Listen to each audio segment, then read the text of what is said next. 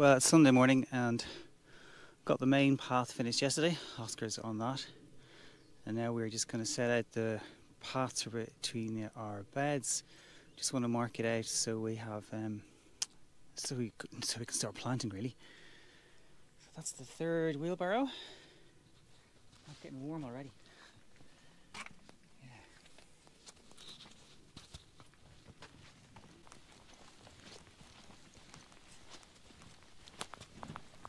Beep beep.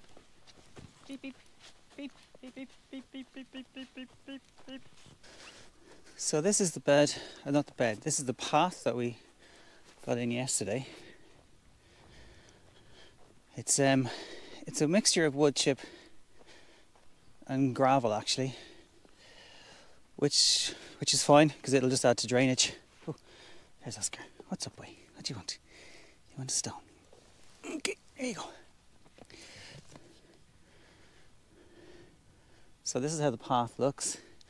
And obviously the idea is that this path will lead to the stairs. We have uh, 11 lavender bushes to put in over here, which will add a bit of colour.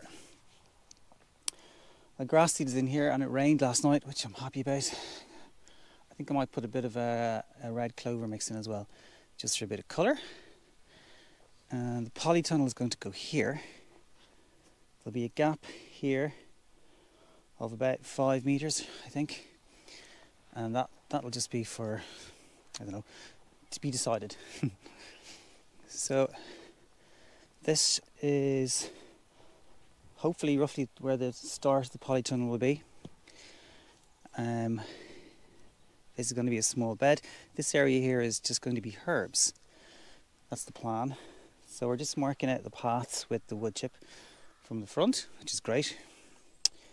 And yeah, so the idea is the paths in between the beds will be a bit smaller than the width of the main path and this path here in front of the polytunnel. And um, yeah, Ellie's doing a great job. we will need it thicker than that, you know that first let's see how far the wood chip is going to take us. Yeah, okay. And after that we can add to it. All right. I was. I would I would like to have this wood chip to give us at least the base of the path. Yeah.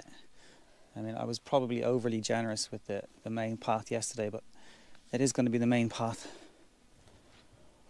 Oh, I think you did a good job with that.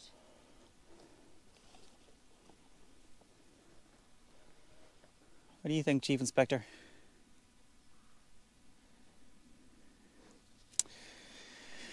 All right, I'm going to put you down and then see how we get on.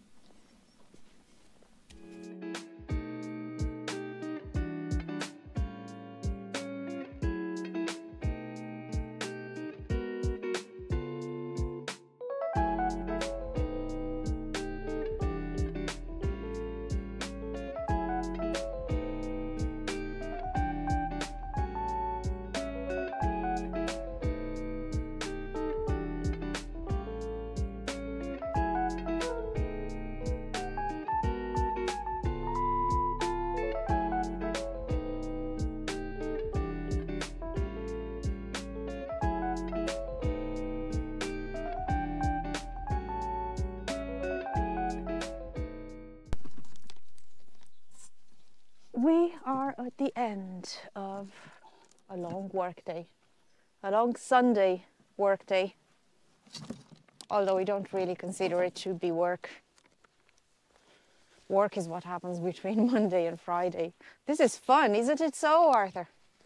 Yeah, loads of fun. It's been a particularly fun day today.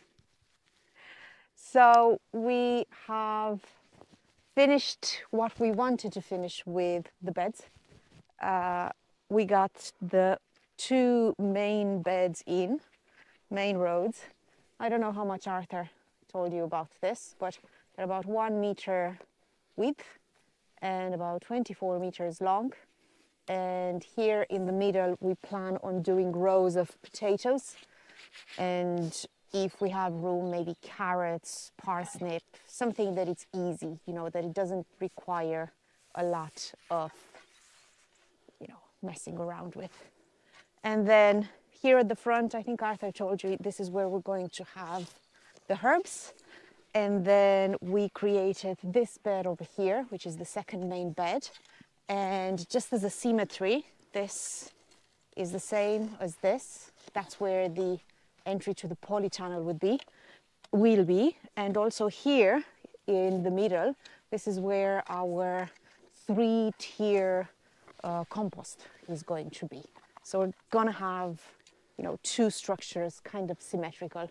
We discussed it and we believe that the compost, this is the best place for the compost because it can't be too far from the garden because you need it for the garden and uh, it can't be too close to the house either because it does attract rodents and we don't want rodents next to the house or inside the house.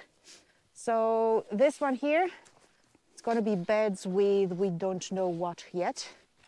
And here as i said compost and a few beds here at the front because the compost area will will cover maybe about half half of the width. And then at the end after the compost we're going to have some more beds here. And we we don't know yet. We haven't we only penciled it down as a thought as maybe we're going to do lettuce because this is the shady part or the shadiest part of the garden. And lettuce doesn't really like direct sunlight. Anyway. And we're going to finish the day by planting the first herbs of our garden. Uh, one is a rosemary plant, and the other one is a rosemary plant. This guy here, this is a survival. We actually don't know if he's going to survive. It came with us from two houses ago. I planted it in a pot and it never really did very well in that pot because it was struggling, poor guy. Um, and that happened, I think, about four or five years ago. So it's been in that pot for like five years and moved with us in three different properties. So we decided that it's a survival and it really deserves a chance to be in the nice, secure spot for eternity or for as long as he wants to live. I don't know why I call him he. I don't know. It's Rosemary, he, not sure. But anyway, it's a he. And we're going to plant it here in this corner. This is one of the sunniest parts of the, of the garden. We, again, we don't know if we're going to survive or not, but it definitely has its best chance. So I hope not only that you survive, because you survived for so many years, I hope you thrive, Mr. Rosemary. Mr. Rosemary, he says a very special thanks to Ellie. You were such a little plant when I planted you. And now you're a bit of a special needs adult, but hopefully you'll recover. And the next rosemary plant, the second one, we, di we didn't really plan on getting two rosemary plants, but our dear neighbor bought one and it looks great. This is a nice youngster. This is a teenager rosemary plant. And um, he, he kind of got ahead of himself because he bought it for himself, but where he lives, it's so windy. And also he has a peacock that seems likes to chew on the herbs and vegetables. Flowers. So, and flowers in particular, yeah. So um, he decided to give it to us and we very happily accepted Here? it. So yes, Mr. Teenager Rosemary plant, it's going there. So if we are lucky, we're going to have two beautiful rosemary bushes. If not, well, that we'll have none. to be seen.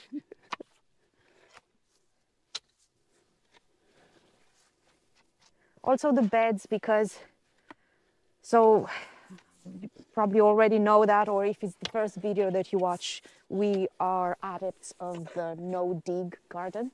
And we've already done that in uh, where we lived on the east coast. And here we want to do the same thing the no dig. The, therefore the compost area is so important for us. But since now we actually don't have compost to begin with and to actually buy compost for this amount it would be incredibly expensive and since everybody who assisted us in digging here said uh, that we have a very high quality topsoil, we have decided to Have an experiment. run an experiment, yes, and actually plant plants uh, without putting the first layer of compost. And by next year, we should have, you know, we're going to start working on our compost. And by next year, we should have, you know, enough to add that those few centimeters that you need to add every year. But yeah, this year we're going to try it this way. Uh, except for the potatoes, they won't get compost, but we think we're going to get straw and we're going to cover them with straw. Stay tuned if you want to watch that. There's a few videos on YouTube that's actually how we got the idea to put the straw on top of the potatoes. Uh, but uh, if you want to watch us do that, please do like and subscribe. Or subscribe, but also please do like. Yeah, it's free. Doesn't cost you anything. It really does. And leave a comment. We love getting comments. We do love the comments, don't we? We do.